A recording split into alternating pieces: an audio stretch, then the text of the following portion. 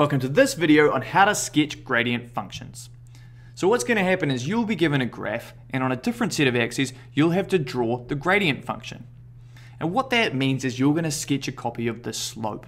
That's what gradient means. And there's three steps in order to do that. Let's go through them one by one. The first step is you're going to look on the graph you're given for the steepest point that's sloping upwards and mark it. Then on your other graph, you're going to know that that's the highest point going upwards, so you mark that really high up on your new set of axes. Then you look for the steepest point sloping downwards, that's your second step. And in a parabola, that's on the right hand side here. Now on your gradient function, that's the steepest negative gradient or negative slope, therefore we mark that lowest on our graph. And then finally, we're going to look for any stationary points in our graph. So ones that are horizontal will have a zero gradient, and that's a turning point as far as parabolas or cubics go.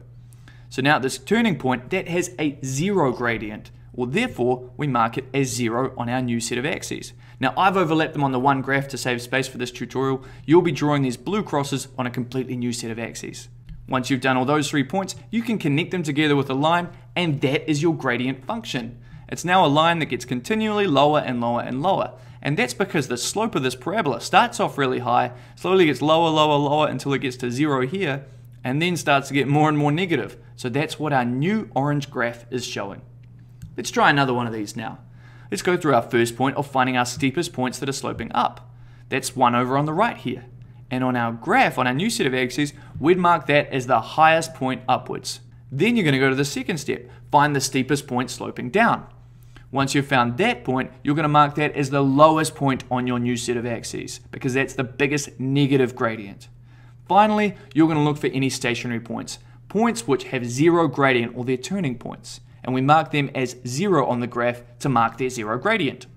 Then you connect all the lines together and you have your gradient function drawn. So that's how we do it with parabolas, and with parabolas, you should always end up with roughly a straight line. But what happens if you get something a little more complex? We follow the exact same steps.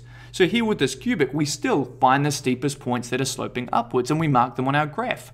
But you'll notice there's two points which are both really steep.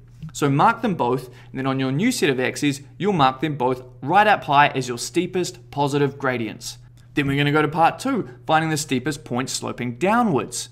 Now there's only one point sloping downwards, and you'll notice that it's not quite as steep down as these ones are up. So I'm not going to put it right near the bottom because it's not that steep going negative. So we just put it a wee bit of the way down.